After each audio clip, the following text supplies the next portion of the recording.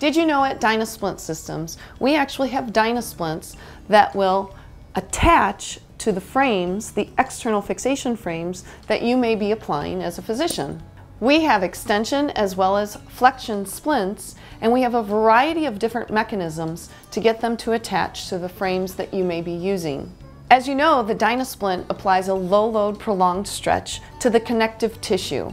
When you apply an external fixation frame and you're concerned about the joint either proximal or distal to the frame, don't forget about the way the Dynasplint works, applying a low-load prolonged stretch to make sure that the patient's leg, arm, their extremity stays stretched out while you're taking care of the bone.